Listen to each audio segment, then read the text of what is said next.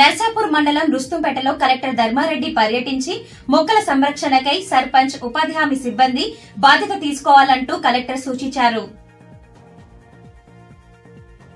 గ్రామాలలో నాటిన మొక్కలు సంరక్షించాలని మెదక్ జిల్లా కలెక్టర్ ధర్మారెడ్డి అన్నారు. నర్సాపూర్ మండలం రుస్తుంపేట్ గ్రామంలో పర్యటించారు.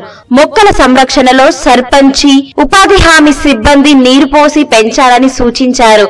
ఇందులో నిర్లక్ష్యం వహిస్తే కఠిన చర్యలు తప్పవని ఆయన అన్నారు. అంతకుముందు గ్రామ సమీపంలో గల సామాజిక అటవీ ప్రాంతాన్ని పరిశీలించారు. ఆయనతో పాటు DRDO PD Sitaramarao MPDO Martin Luther sarpanch Vijay Bhaskar ఉన్నారు బతికించడానికి ఆయనకి పెట్టి ఆయనకి ఇవ్వండి.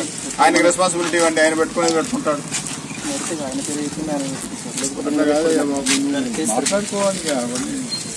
పని జరగాలి కదా. పని జరగకపోతే